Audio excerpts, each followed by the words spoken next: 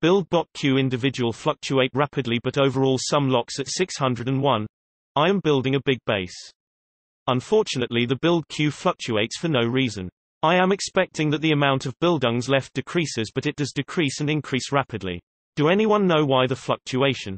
Maybe a technical reason. The overall queue locks at 601 but the items and item amounts are changing. Enter image description here. There is no queue.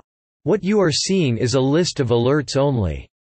In order to ensure consistent performance, Factorio does not reevaluate the entire world's possible construction requests all at once. Instead, it checks one build ghost at a time, and checks whether an item and bot are available. If they are, the task is assigned to the bot, if not, an alert is generated.